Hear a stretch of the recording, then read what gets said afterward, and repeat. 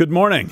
I had been scheduled to host the show today for about a week, and the topics that we were going to discuss were what you would expect in any Louder with Crowder show. Talking about some news, make some jokes, maybe poorly, but unfortunately, that's no longer the case today. Well, before any video that was released, we were going to do this show this way. I'll get to why Steven's not here uh, in just a minute, but it was planned from a week ago, not from yesterday. I just want to say off the top that none of this had to happen. None of it. Didn't have to be this way at all. We didn't choose this, it was chosen for us. In fact, as I'll tell you in just a few minutes, we went to great lengths to give people the ability to do the right thing, to honor their agreements, and to do what they said they were going to do. Unfortunately, they chose a different path. For the last year and a half, everything you've seen in the public eye has been part of a well orchestrated plan. What is that plan? To assimilate damaging PR assets and wage a negative publicity campaign against Stephen. I'll show you the quotes. I'll show you the text messages. I'll show you everything.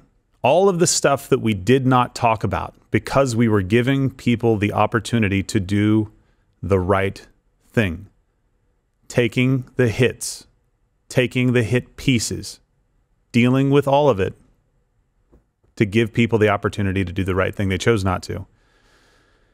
I wonder why Jared decided to release his video yesterday. Just for some backstory, there had been no communication between our attorneys for a couple of weeks.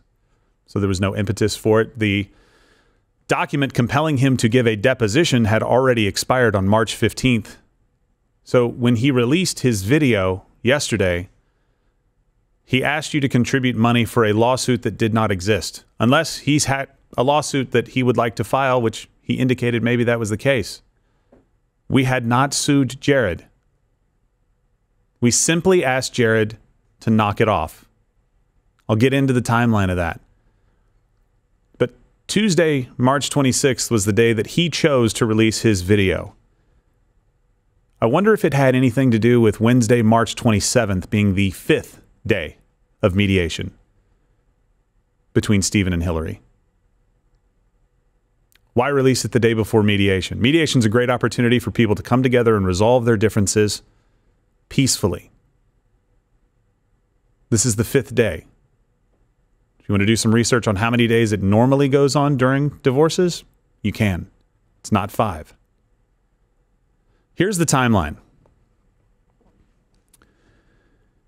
On October 27th, 2023, we filed our original Rule 202 petition that Jared mentioned. Rule 202 petition is basically saying, hey, we're serious. Please knock it off and tell us how far this went. On October 30th, we sent a cease and desist. At that time, October 30th, 2023, all Jared had to do was respond in writing saying that he was going to knock off what he was doing. He was going to stop violating his agreement that he voluntarily entered into. He chose not to. Legal fees associated with writing us a letter would have been minimal, if any at all. And I have the receipts as to why we sent this to him in the first place after around six years of no communication in this way. December 14th, we had one amendment to our Rule 202 petition, not quite the exhausting of the court as Jared made it seem, that we were trying to bully him with the law. March 15th, that 202 expired. March 26th, Jared releases his video.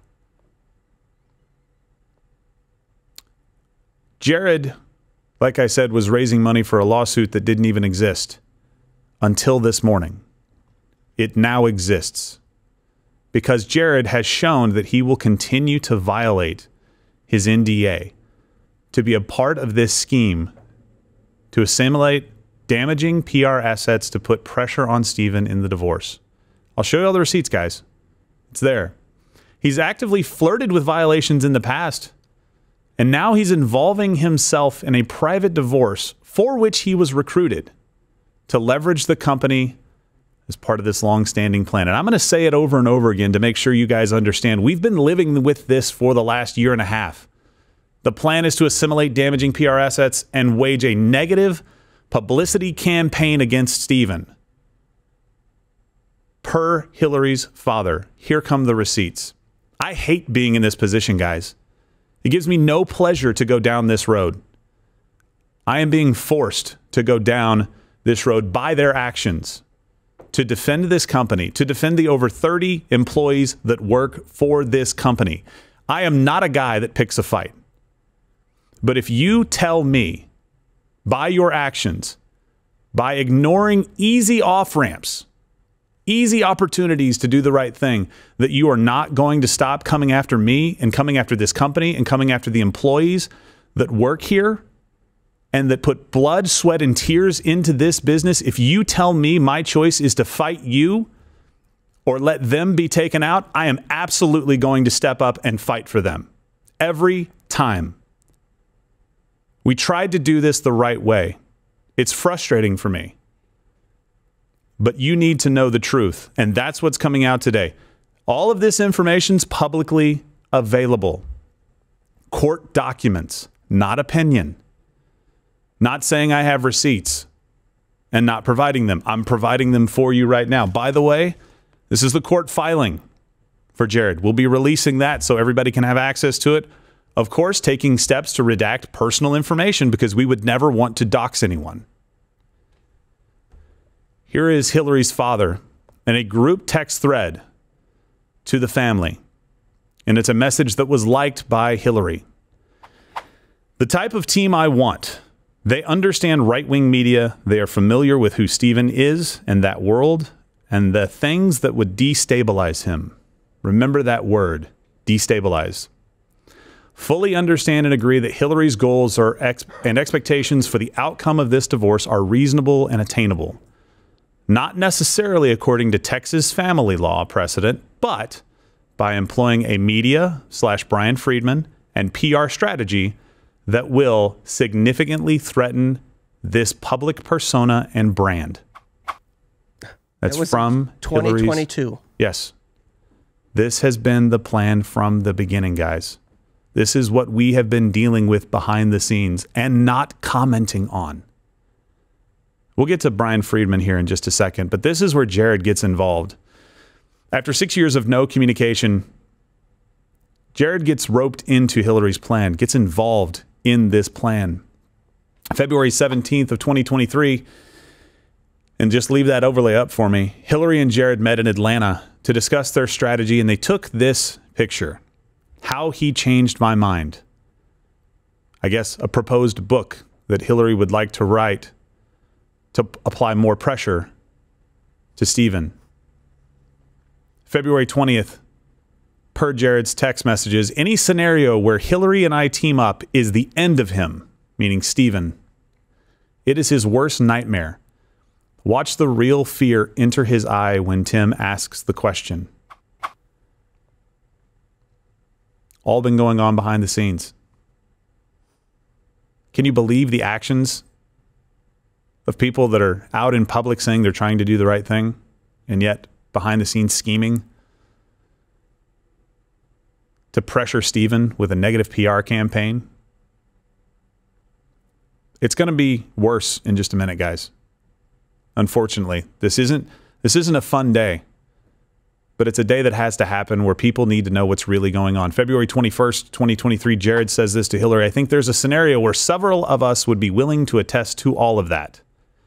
I just don't want him anywhere near those kids. That really, really disturbs me. Why do this? This was done specifically in order to get more than Hillary would get in court, or that Stephen even offered her, because his offers have been more generous than Hillary would ever get in court per Hillary. From a text exchange between Hillary and her mother. Again, all public information, guys. This is a part of court filings, not us pulling anything, not us opining. The financial offer was serious, and the business valuator and both of my attorneys agreed the financial offer was good. And while that's better than I would get in court, I want more freedom to than that, referring to as well custody of the children. Remember that the financial offer was serious, and the business valuator and both of my attorneys agreed the financial offer was good. Offer was rejected. Why? Let's go back to the plan. To assimilate damaging PR assets and wage a negative publicity campaign against Stephen. And then, after doing that, they could make it all go away for Stephen. Per Hillary's father to Hillary and other family members in a group text. The longer the divorce proceedings go on, the worse the outcome for SC, Stephen Crowder. Developing damaging OK PR assets should be pursued. That deliverable is up to us, not the legal team. I wonder why. And at the right time, Mark Scroggins, the first of three attorneys, will show SC the path to make it all go away. Do you understand what they're saying there, guys? We're going to wage a campaign against Stephen. Not to tell the truth about Stephen, but to misrepresent things that are going on so that we can put pressure on him. Doesn't matter if these things are true or not. People are going to run with it because, hey, Stephen Crowder tells some jokes sometimes that offend people. So they're going to run with it and they're going to put pieces out in the newspaper. And then when the pressure is so much, when we have wrecked his life enough, at the right time, and I quote, bring it back up, at the right time, Mark, referring to Hillary's first divorce attorney will show SC the path to make it all go away. They both want money, maybe fame. They don't care if it's at the expense or well being of the children or the family, or if they do, they're hiding that fact very well. And look, based on what we've discussed, they don't believe that Mug Club should even exist because it should all belong to them. Having an undercover unit? No, that money belongs to Hillary. Going out and getting these documents released so you guys could know what's going on about the Nashville manifesto, about the Chippewa Falls stuff that we've revealed, and the other stories that we are working on right now? No, it belongs to them. Being able to bring in additional people to carry the load here? No, belongs to them. This is the through line with every single point. And this is something new. Not new to us, but new to you. And I want to tell you this from the perspective of somebody who hates to have to do this. I do not in any way want to be in the position that I am in right now, having to react to people's bad decisions, but I don't have any other choice because it has been made clear by their actions over the last year and a half plus that there is no other way to say, guys, stop what you're doing. You have to quit. You have to do the right thing. You have to honor your agreements. Hillary is not doing that. And so this company is suing Hillary for extortion against us. We filed a lawsuit against Hillary, her family, and media reps for tortious interference and their extortion conspiracy scheme, which I will lay out in detail. I take no pleasure in that. I wish everybody would go and just do the right thing and we could all get on with our lives. And you can tune into this show and see updates about news, comedy, everything that you love about this show, additional content from great people that you love to hear from. But unfortunately, I can't do that today. I hope we can get back to doing that very soon. In fact, we will tomorrow. But I hope we never have to address this kind of stuff again. I hope people understand that we're serious. We will defend the people that are here in this company. Here's let's talk about some things that you know and maybe some things that you don't know. So, one of the things you know, the ring footage, right? Everybody remembers that? Oh yeah. Oh, my uh, machine just froze. Going out at all or no? We're still going out. All right. It's just stuck Okay. on your camera. Stuck on right me. now. That's you know what? That's fine. yeah. That's where we need to be right now. Yeah. Just going to talk you guys through this. Here's what you know ring footage that was sent out that tried to portray Steven in a very negative light, having an argument with his wife. Steven admitted he's not a perfect guy. There are definitely faults. Arguments happen.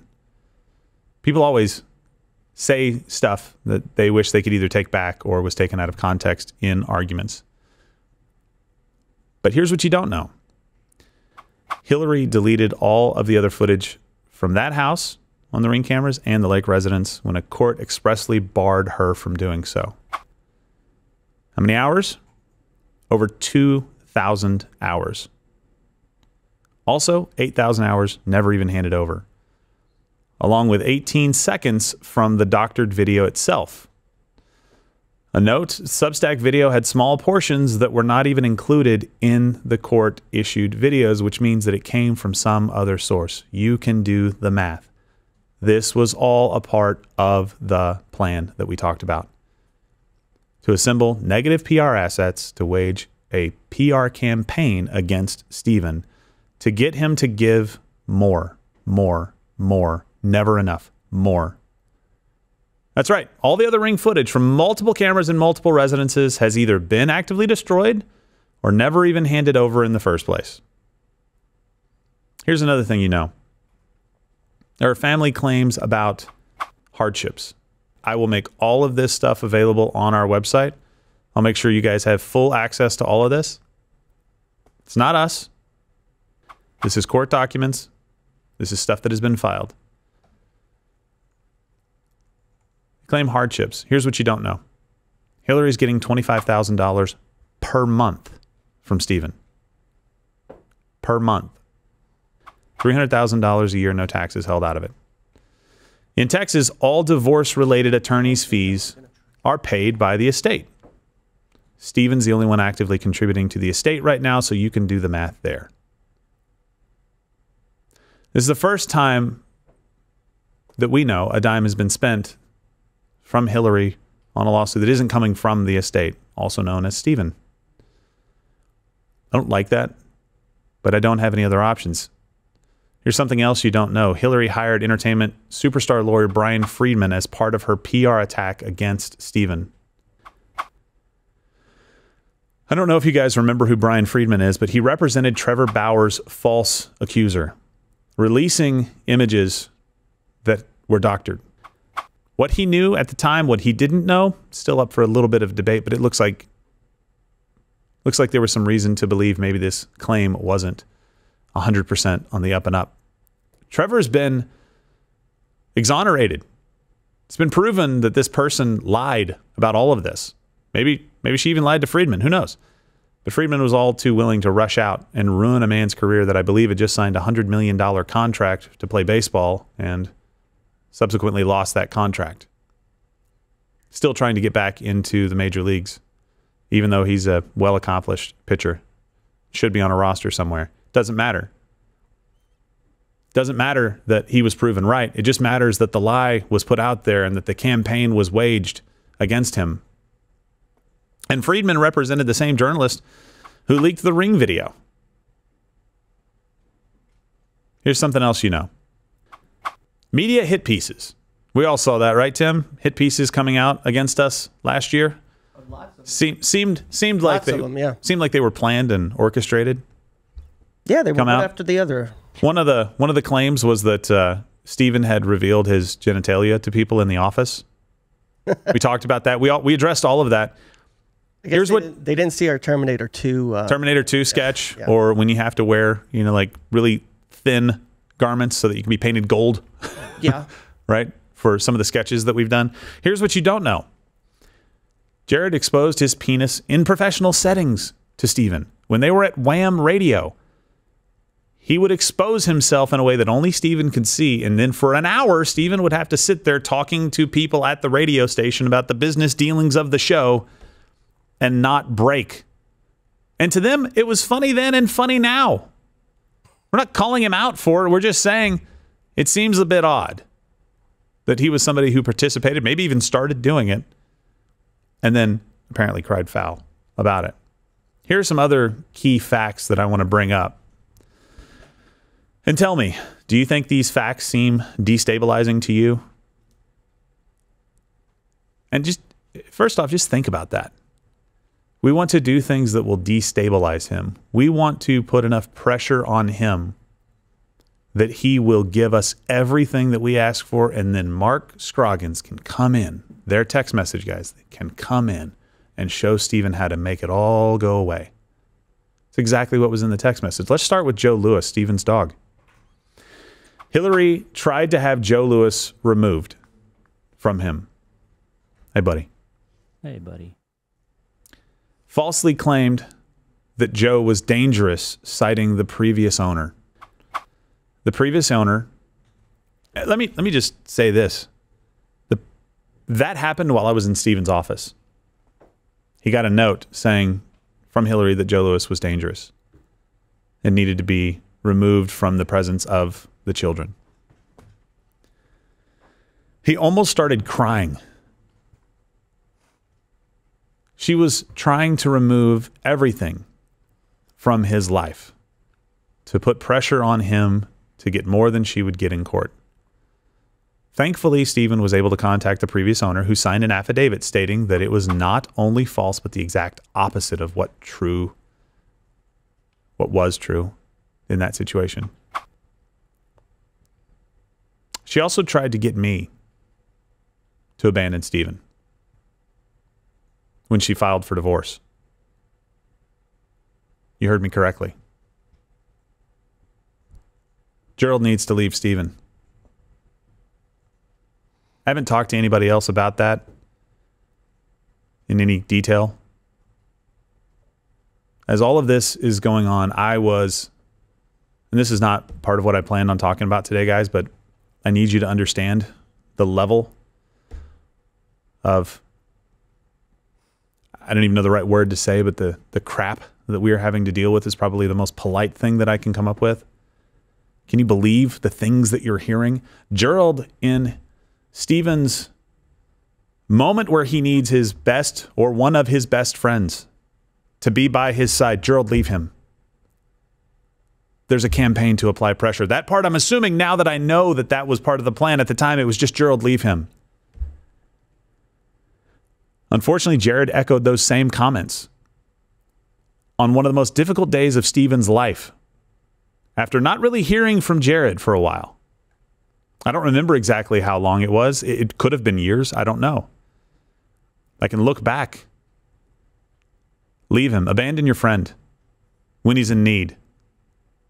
When everybody agreed that it would be great if Gerald could help with Stephen and help advocate for Stephen and be a, a, a sounding board for what's going on in life, to be able to talk to him as I had been doing for many years prior to ever being paid anything to do anything with Stephen. I was his friend before. Guess what? I'll be his friend after if there is an after. He can stop paying me today and it won't change the facts that I have laid out here. And I know exactly what's going to happen. You guys are going to come after me. It's fine. I can handle it.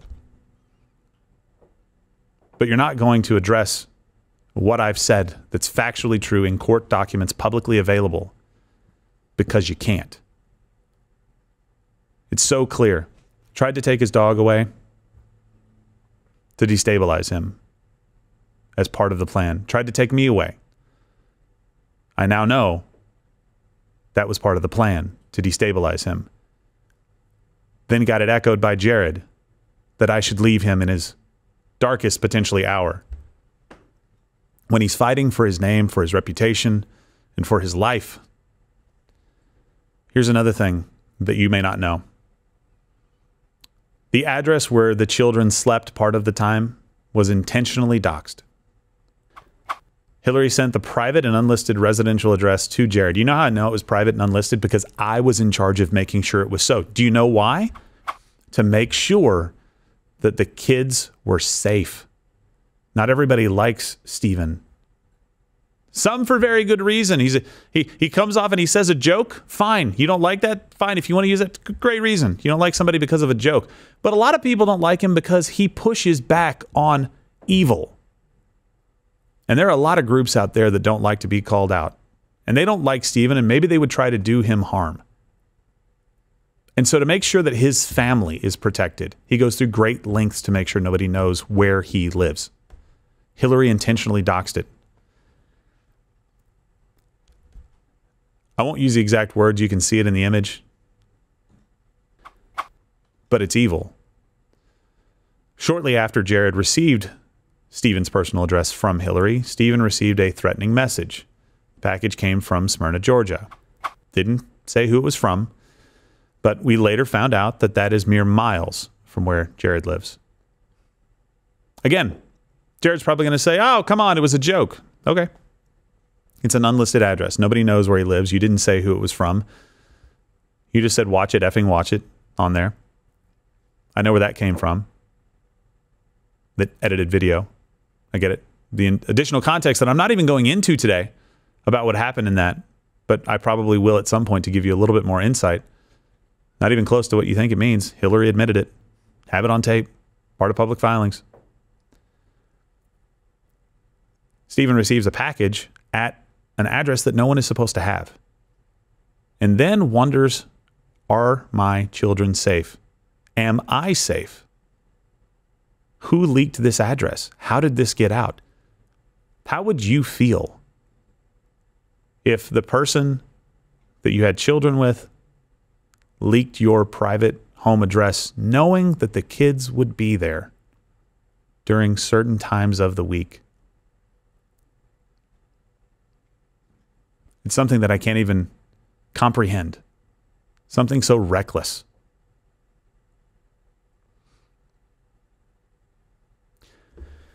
I want to say a couple of things as I wrap this up. NDAs are a normal part of doing business. You sign an NDA voluntarily. Jared signed his voluntarily and then he breached it. Didn't have to sign it, could have left, could have just left, could have walked away, didn't have to sign the exit. He signs it on the way in again, didn't have to sign that either. Never. He voluntarily signed an agreement and then decided to break it. He also lied to you guys and said that I was asking for every single conversation he, with his friends and that I was telling him that he couldn't contact his friends. No, mm-mm. That's not true. Look at the Form 202 petition that we put out there. I told Jared in that in that petition basically like, "Hey, you have to stop talking about the company. The agreement that you made with us." And that can be as simple, like I said earlier, as making sure no address is divulged to where somebody sleeps with their young children. It's common. I'm not restricting your speech, Jared. I simply asked you to honor your agreement that you voluntarily entered into. And you had every opportunity to do the right thing before being sued today. We'll get the lawsuit to you, I promise. And I hate it, man. From the very beginning, I talked to the lawyers about making sure that this cost you as little as possible. You don't know that because you never reached out to me. You just assumed the worst. Assume that I was bought and paid for by Stephen. I'm bought and paid for by no one. Again, Stephen's friend before this job, Stephen's friend after this job. I didn't want this to cost you money. I didn't want this to go out and be public for everybody. I did want you to honor your agreement and knock it off. When you refused, I needed to know how far this went. That was it. It would have been the end of it. After two hearings that maybe lasted about an hour each, and very minimal work, and a deposition deadline that had expired, you decided to come out and say that we had sued you, which we hadn't. That video makes it very clear that the only way that we can get to a place of understanding of what your agreement was and that you should honor it is for me to have to sue you. I did not want it to be this way. I take no pleasure in it. No matter what the outcome, I take no pleasure in it. I just want to protect this company and the people that work here. One thing you also need to know, guys Hillary is behind this entire plan to assimilate the damaging PR assets and wage a negative publicity campaign against Steven. I'll say it again. That is the plan. And maybe it's because she's taking bad advice. I don't know. All I know is that the actions have been consistent in rejecting very generous offers. More money than Steven's ever made in his entire life has been offered. No, more, more, more. Every time. Every single time. I want to just reiterate all of these lawsuits, all of it. I hate it. I hate every single second of it. It does not give me pleasure. I've said it hopefully enough times for you to understand that I don't like doing this. But if it comes down to defending the company and the employees who pour so much of their lives into it or staying silent while people repeatedly attack us and violate their agreements with us, then you better believe that I am going to fight like hell to defend this company and to defend our ability to communicate with you and to defend Steven, as imperfect as he is. We are all imperfect. It didn't have to be this way. There's still time to do the right thing. But I guarantee you what's going to happen again. They're going to attack me and not talk about the facts. They're going to continue to try and wage this campaign against Steven. Jared, you left in August of 2018. We said nothing about you.